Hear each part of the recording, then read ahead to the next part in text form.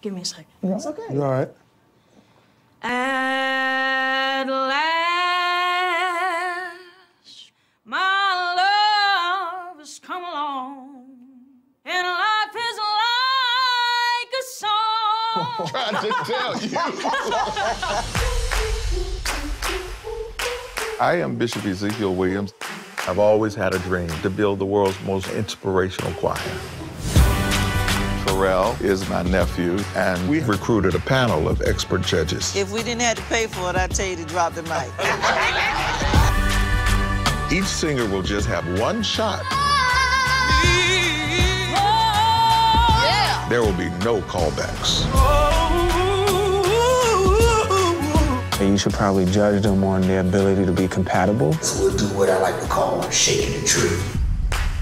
Now, if she kills this, the spot is hers. I want to share my life through music.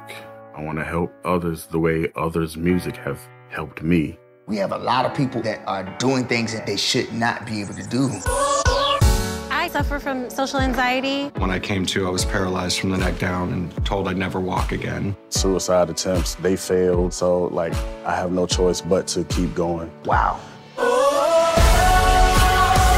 How many real opportunities in life do you get? I want to be in this choir pretty bad and contribute to something bigger than myself.